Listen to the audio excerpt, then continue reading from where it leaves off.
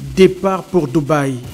Pour le président de la transition qui effectue le déplacement de la capitale économique des Émirats arabes unis, les assises de la 28e conférence des partis sur les changements climatiques s'ouvrent. La rencontre est placée sous l'égide des Nations unies. Plusieurs leaders du monde à cette conférence sont conviés.